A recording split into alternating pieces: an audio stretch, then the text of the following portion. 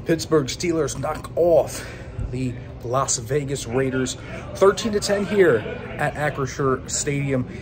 And folks, what a storybook ending this was for this game specifically, honoring Franco Harris on the 50th anniversary of the Immaculate Reception. Steelers go down and put a drive out like they did on that last drive in awful conditions. It was cold, it was windy, it snowed at times in this game. This was a game that required grittiness. This was a game that required a lot of heart to win. Let's make no mistake on that. And a lot of that heart came from Kenny Pickett. And I think that is ultimately the biggest takeaway I have from this game. I, I look at Kenny Pickett, and this game was exactly what you wanted from a young quarterback. He's not having a good game, right? He's made some bad throws. He had a really bad pick. He's overthrown some guys, thrown behind a few guys. Maybe he's gotten duped a little bit in the mental game. Then he goes out and has that drive he did to win the game. You want to talk about guts? A few really good throws. Two out of structure throws to Pat Freiermuth. Acknowledging the dump off to Najee Harris, growing as the game went on, right? Acknowledged that they were going to back out and took what the Raiders gave him. Then on fourth and one, the second effort on the QB sneak was something else. That was really, really, really all Kenny Pickett. And he comes back next play, throws a dime to George Pickens. It's touchdown. That's it. And just like that, the Steelers win 13-10.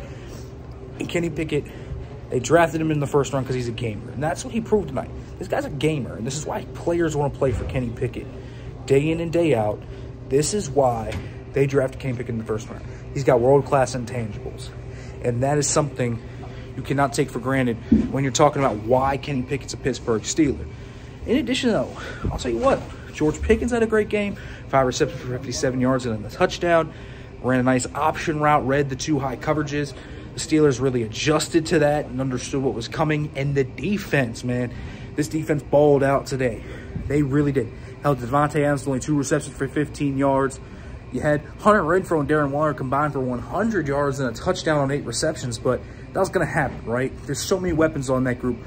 Someone's going to step up a little bit, but they never got killed by any of them. Outside of that first drive, they were great. Only 162 yards outside of that first drive. Josh Jacobs, 15 yards for 40, I mean, 15 carries for 44 yards. They neutralized the two biggest threats on this Raiders team in Jacobs and Adams. And that was huge in this game. And then they get three key picks. I mean, really, they help the offense out. The Art Maulet pick on the over route. Then you have Minkah Fitzpatrick getting another one. And then, of course, the Cam Sutton pick at the end. What a play that was by Cam Sutton. This game really came together. Then Najee Harris on the final drive, really giving the Steelers a spark through the air. Didn't have a great rushing game. He was running tough got a few key first downs. It was awesome stuff to see from the Steelers. They really came together in a gritty win.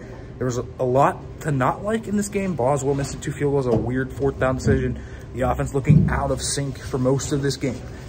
But when it mattered the most, they came up, and it was a fitting victory here on the 50th anniversary of the Immaculate Reception. Folks, Nick Farabaugh. Make sure to check out more at Pittsburgh Sports Live and subscribe.